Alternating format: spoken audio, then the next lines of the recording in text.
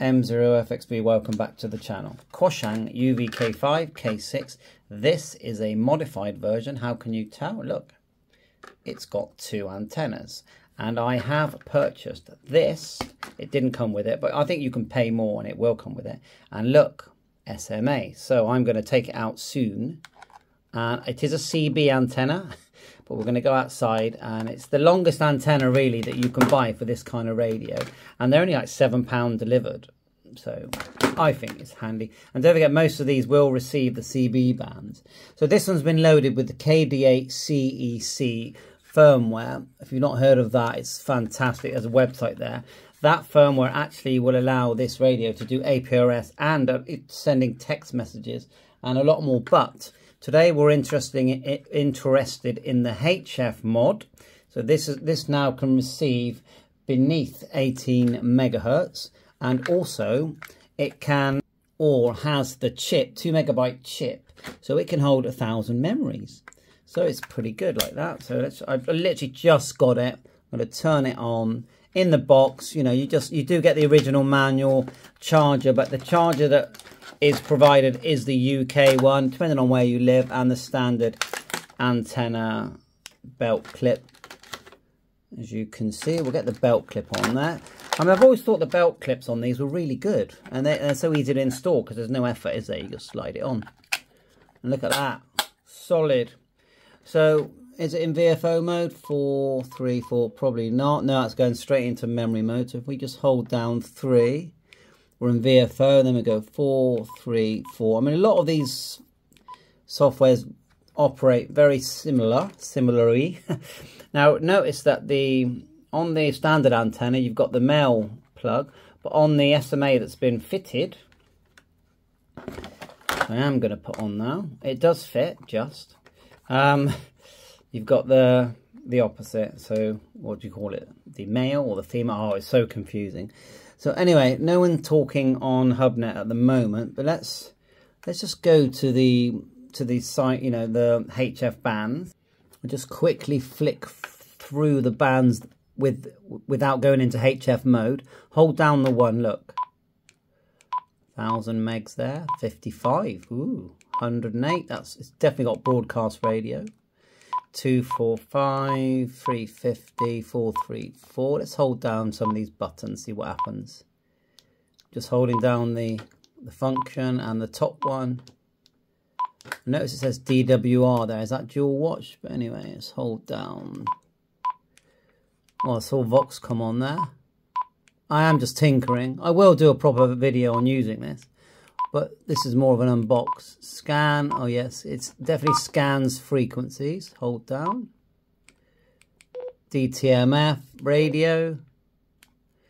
Yeah, well, of course, we need to go into the menu and start actually learning how to use this. Menu, then we'll go, it's one of 49 it says down here. HF dual. HFD volume, CW10, TX power, CT CSS, transmit offset, plus and minus, demodulator, so that's mode, scan add. Now this isn't uh, uh, uh, the modification where you just buy the board and, and solder it in. The station that sells this, is on eBay actually, um, does more than that uh, to, to make sure it works even better.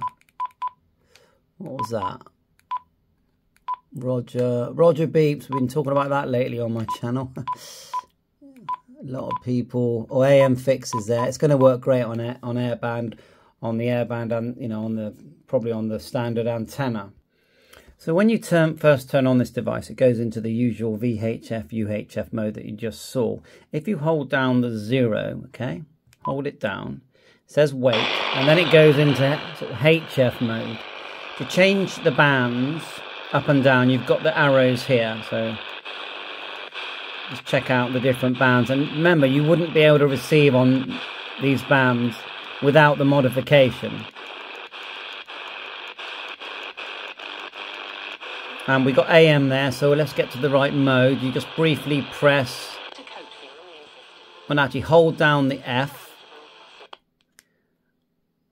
and it will change to USB. And if we press it again, CW LSB, go up to the different bands. Let's go to 20 meters. We'll go outside. And then it is quite loud. And then what we're going to do when we're outside, don't forget, it's only a CB antenna on here. We're going to, um, actually, we quickly connect my HF antenna just to see what that sounds like inside the shack. And then we'll go outside. So antenna on. Now, 20 meters here. Trying to get a clear image for you. 20 meters. Just uh, 49 to 1 balun. Uh, and a 66 foot length of wire. Let's tune up.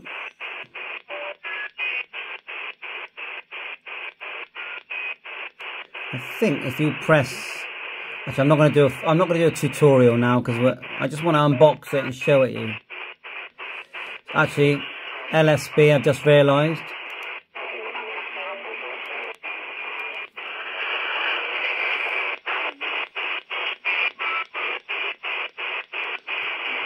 If we can scan. Oh, look at that. When we hit that, it moves it along for changing the frequency. Look. Let's put it on the 10.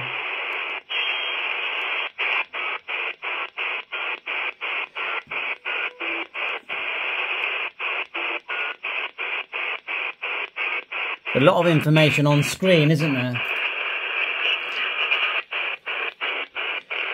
You know, look along here, all the different bands, attenuation, ham, all this, LNA, bandwidth,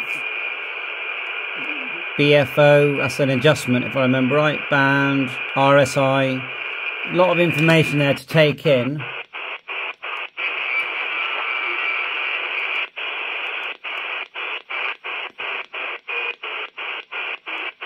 Let's just go to 40 meters.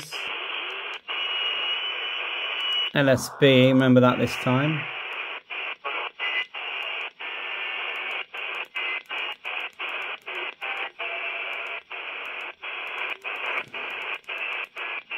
Nothing at the moment. We press earlier.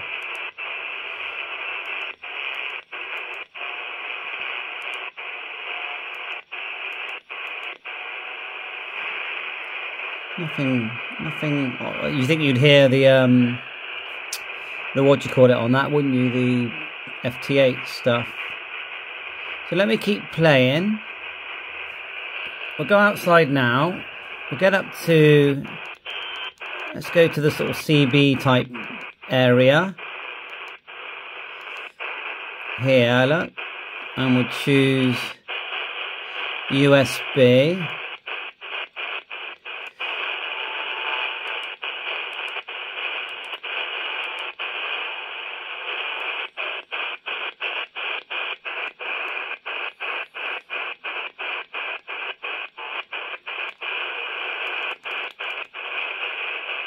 Course, it does still do airband. So we're out here now. Uh, we're on AM at the moment. Not really getting much today. Mazzy's here.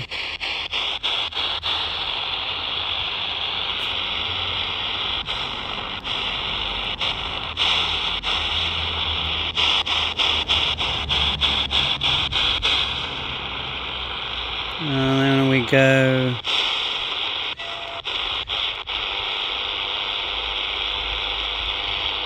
Let's turn it off, then on. We'll just type in the airband when we're in VFO mode. One, three, three, eight, five, zero. Oh, got someone straight away.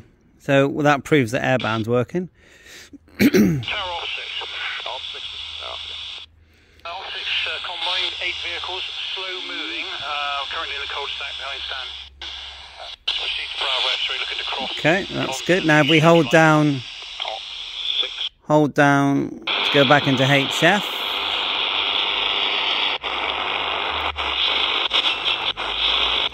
Surprised to not get anything.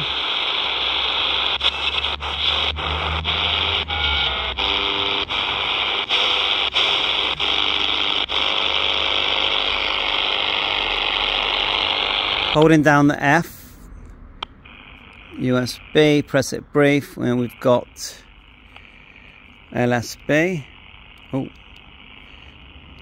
my mistake. And remember, it's a CB antenna. It's not a, you know, an antenna designed for for 40 meters anyway. So we'll do some more tests. Remember, there's other firmware. There's the Fagci firmware, the Fagci Reborn. Apparently, that that's really good, and I've been testing that as well. So uh, thanks for watching so far. Bye for now. All the best.